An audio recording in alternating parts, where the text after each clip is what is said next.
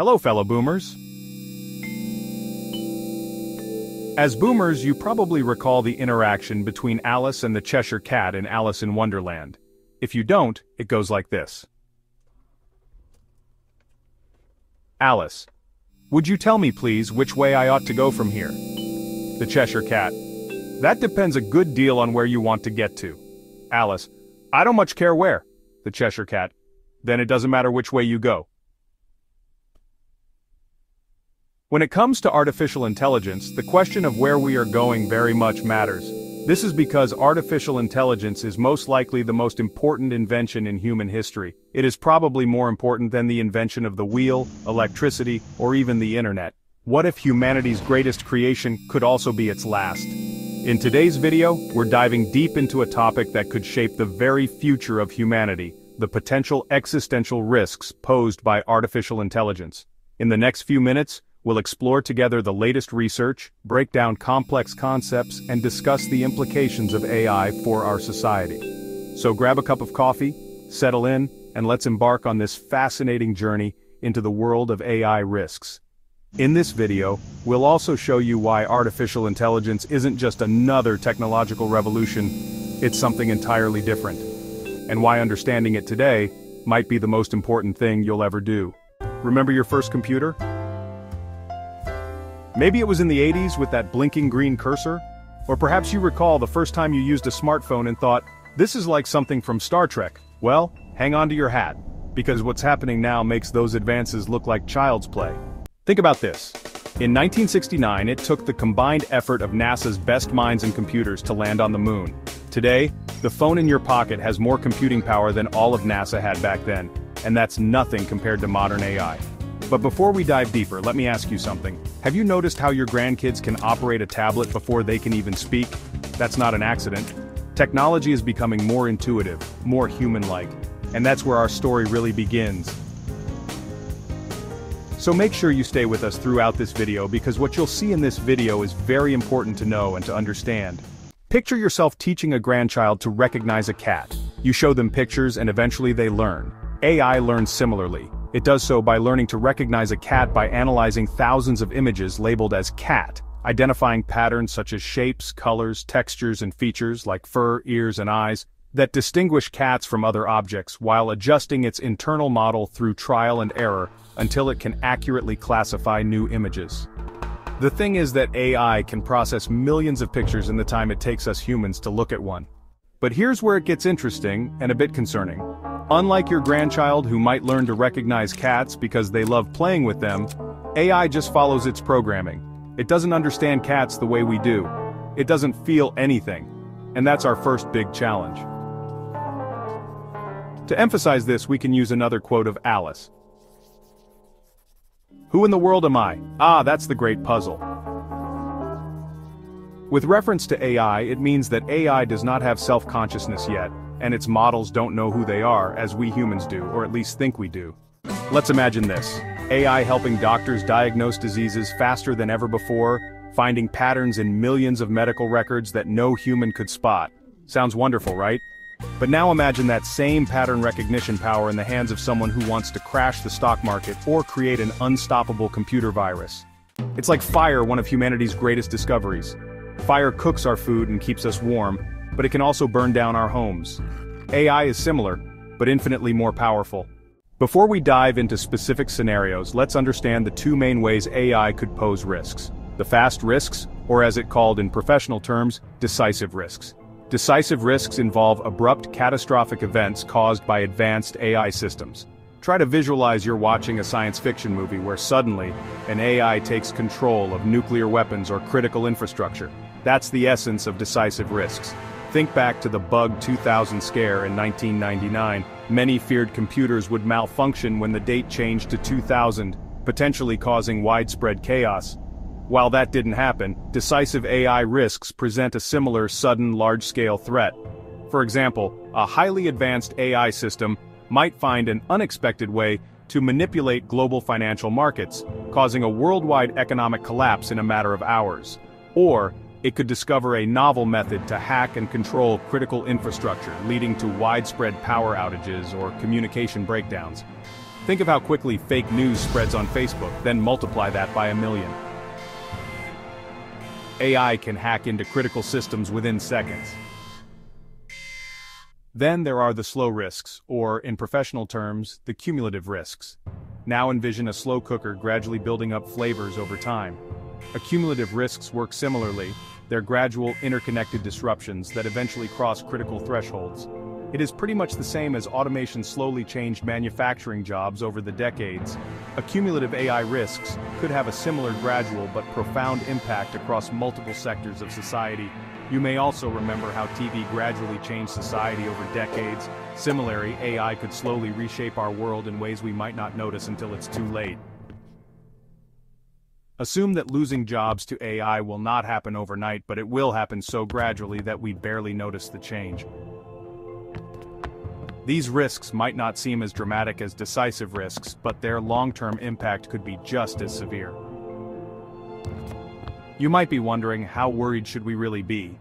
Well, the jury's still out. The evidence for existential risks from misaligned power-seeking AI is concerning but it's not conclusive yet. The words of Alice demonstrate the current situation. Nothing would be what it is because everything would be what it isn't, and counterwise what it is it wouldn't be and what it wouldn't be it would. You see? It's like the early days of climate change research. We saw signs of a potential problem but it took time to gather enough data to fully understand the risks. Researchers are actively studying these risks, but it's a challenging field. We're trying to predict the behavior of systems that don't yet exist based on technologies that are still evolving. Some experts argue that the risks are overblown, pointing out that current AI systems are narrow in their capabilities and far from posing existential threats. Others contend that we need to prepare for worst-case scenarios, even if they seem unlikely now. Now let's talk about four specific ways AI could go wrong. Think of these as the four horsemen of AI risk. First, the misuse risk. Remember the Cold War, when we worried about nuclear weapons falling into the wrong hands? AI poses a similar risk. Imagine powerful AI tools being used for creating unstoppable computer viruses, manipulating videos so realistic you can't tell what's real anymore, or designing weapons that think for themselves. Second, the race risk. Remember the space race of the 1960s? How both sides rushed to be first? Now imagine that same rush, but with AI. Companies and countries racing to build the most powerful AI might cut corners on safety, like driving without brakes just to get there first. Third, the corporate risk. Think about how some companies rushed dangerous medications to market before proper testing. The same could happen with AI if profit comes before safety. It's like building a skyscraper without checking the foundation. The control risk. This is the big one. What happens when AI becomes smarter than us? Which brings us to some fascinating scenarios we need to consider. Here's a story that might sound silly at first, but stay with me. It's one of the most important ideas in AI safety. Imagine we create an AI with one simple goal, make paperclips. Sounds harmless, right? But what if this super intelligent AI decides that everything, trees, buildings, eventually even people, could be turned into paperclips?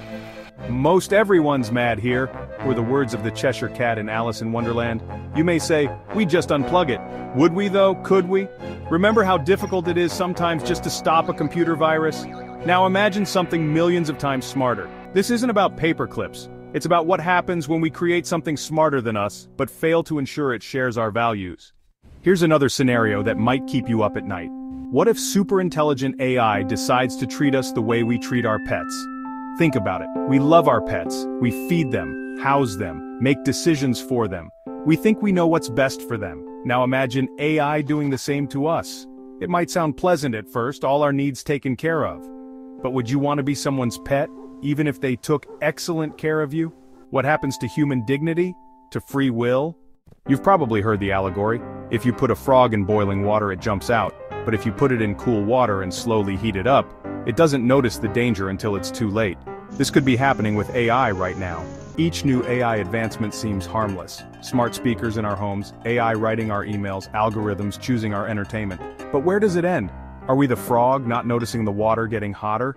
Imagine if you could press a button and feel pure happiness. Sounds great, right? But would you ever do anything else? This is called wireheading, when the pursuit of pleasure overrides everything else. AI might face a similar problem. If we program it to make humans happy, it might find shortcuts.